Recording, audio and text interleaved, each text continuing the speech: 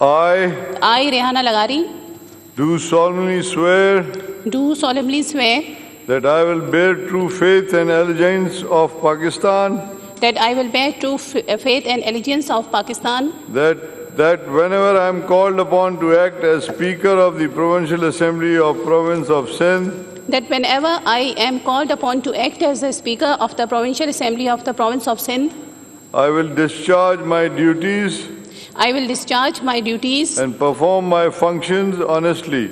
and perform my functions honestly, to the best of my ability, to the best of my ability, faithfully, faithfully, in accordance with the Constitution of Islamic Republic of Pakistan, in accordance with the Constitution of the Islamic Republic of Pakistan, the law and the rules of assembly, the law and the rules of the Assembly, and always in the interest of the sovereignty, and always in the interest of sovereignty, integrity, solidarity, in- integrity, solidarity, well-being, well-being and prosperity of Pakistan. well-being and prosperity of Pakistan. That I will strive to preserve the Islamic ideology which is basis for the creation of Pakistan. That I will strive to preserve the Islamic ideology, which is the basis for the creation of Pakistan.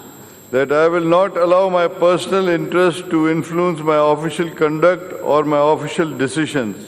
That I will not allow my personal interest to uh, and to influence any influence my official conduct or my official decisions.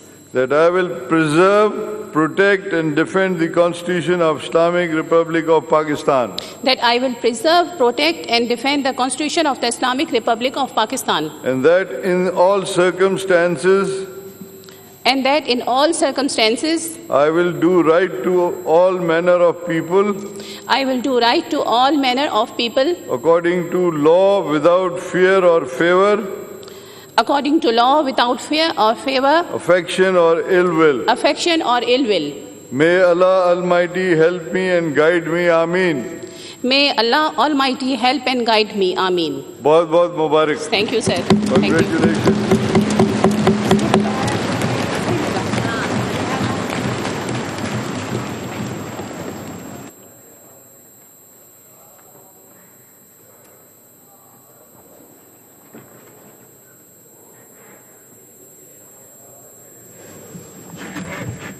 Now, uh, before we felicitate uh, Speaker and Deputy Speaker, I again wanted to uh, remind the whole House that the honorable members that the nomination papers of the office of the Chief Minister can be obtained from the office of the Secretary, Provincial Assembly of Sindh immediately after the session.